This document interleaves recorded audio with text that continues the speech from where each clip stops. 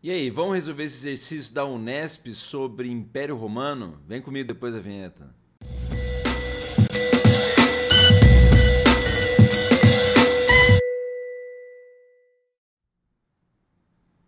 Fala, só louca, seu louco, prof. André do História em Casa nessa resolvidinha do saber. Você lembra que hoje a gente vai de exercícios aí mas antes de continuar, é claro, já dá o like no vídeo, se inscreva no canal se não é inscrito, ativa o sininho também, segue a gente lá no Instagram e no Facebook do Prof. André História em Casa, além de ouvir o nosso podcast no Spotify. Não esquece, hein?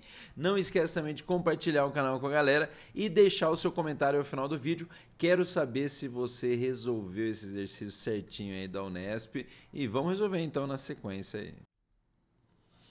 Bom, começamos com esse mapa aqui, ó, tá aí para vocês onde está em laranjinha, é claro, se você não for daltônico de repente, nada contra que é daltônico, mas tá aí o mapa do Império Romano na época de Augusto, 27 a.C.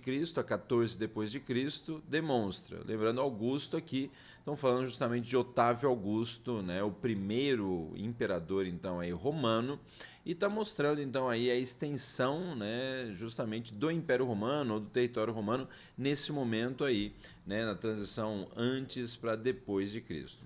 Uma coisa também importante para a gente aí é de que esse território também remete para nós aquela expressão Mare Nostrum. Vou até escrever aqui em cima para você lembrar também. Lembre que a expressão Mare Nostrum quer dizer justamente o mar é nosso ou o nosso mar.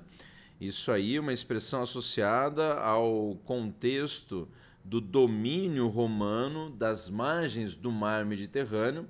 Lembra essa expressão, então, que quer dizer o nosso mar, ou o mar é nosso? No sentido, então, de que o mar Mediterrâneo virou tipo um laguinho para os romanos, né? De que o mar Mediterrâneo, então, passou a ser dominado pelos romanos a partir dessa conquista territorial que Roma desenvolveu durante a República, levando a conquistar todas as margens e ilhas do mar Mediterrâneo. Com isso, então, o mar é nosso, o nosso mar, né? Então, tá interessante para a gente, já nesse momento do Império Romano, bem consolidado esse domínio aí. Mas vamos ver que o mapa aí demonstra o quê? Na alternativa A, o mapa demonstra a dificuldade das tropas romanas de avançar sobre territórios da África. Bom, primeiro, dificuldade sobre avançar territórios da África. Se a gente voltar ali, a gente tem justamente no mapa territórios no norte da África. Pegar ali, né, por exemplo, Cartago aqui, se a gente associar com também né, a vitória romana lá nas guerras púnicas, Alexandria ali embaixo também, que é Egito, então é África também. Então, falar que eles tiveram né, dificuldade de avançar sobre territórios da África não está muito certo, não.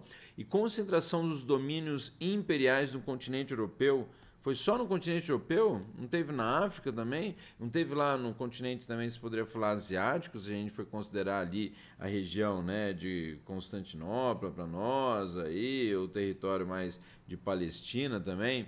Então, acho que falar que ficou restrito aí, né, concentrou o domínio só no continente europeu, isso aí está errado. Portanto, a alternativa A já é a de a mais errada alternativa que a gente já se deparou nesse momento, nesse exercício. Portanto, a alternativa A, exercício errado. Vamos para a alternativa B, ver se o mapa demonstra aí.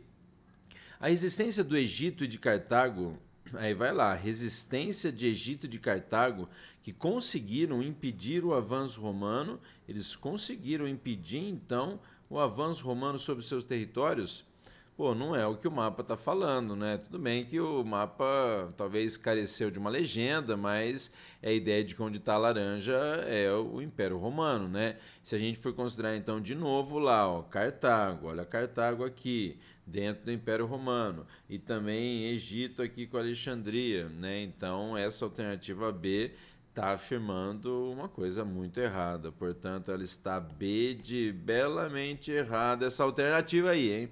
Mas vamos para a alternativa C aí. Ah, o mapa demonstra a conformação do maior império da antiguidade. É aquela coisa, há muitas controvérsias em relação ao seu império. Ele é maior no sentido de duração de anos, de quantidade de anos que ele existiu, ou de quantidade de territórios, né? Então, assim, tem o Império do Alexandre o Grande, que foi vasto, mas foi efêmero, foi de pouca duração. O Império aí persa também a gente pode falar, então não é muito bom falar, afirmar que foi o maior império da antiguidade. Da antiguidade clássica poderia até ser, da antiguidade ocidental, mas. E a imposição do poder romano sobre os chineses e. Cadê aqui? Chineses e indianos. Se você voltar lá no mapa de novo, né, e mesmo assim, né, o Império Romano chegou a dominar Índia, chegou a dominar China pelo que o mapa está colocando aqui. Não, né? Chegou lá na Palestina e tal. Então, essa alternativa C está de caramba! Tá errada essa aí. Bom, vamos para a alternativa D então na sequência. A iminência de conflitos religiosos resultantes da tensão provocada pela conquista de Jerusalém pelos cristãos. Então, de que o mapa está falando, está mostrando ali conflitos religiosos, resultantes da tensão provocada pela conquista de Jerusalém pelos cristãos. Conquista de Jerusalém pelos cristãos, na verdade, se for ver, quem conquistou Jerusalém aí foram os romanos, que não eram cristãos, né?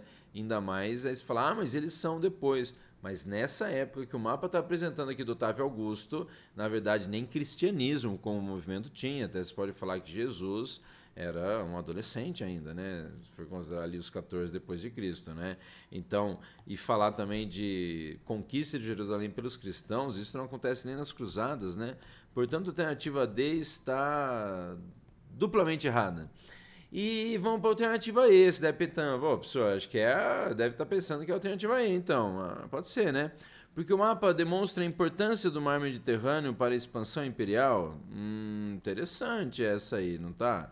Está mostrando da importância do mar Mediterrâneo, a gente foi considerar justamente né, o quanto o mar Mediterrâneo, então, é importante como nosso mar dos romanos e tal, sim, né? E também para a circulação entre as áreas de hegemonia, de domínio romano? Pô, sim, né? Se você for considerar que para você de repente ir lá de Roma para Cartago, que é domínio romano, você vai atravessar o mar Mediterrâneo e que a navegação, é claro, é facilitada pelo mar Mediterrâneo, eu acho que né, alternativa E, já diria o nosso amigo cowboy, o garoto vaca, hum, muito interessante essa alternativa E, até porque é ela mesmo, é a alternativa E de essa mesmo acerta aí. É isso aí, hein?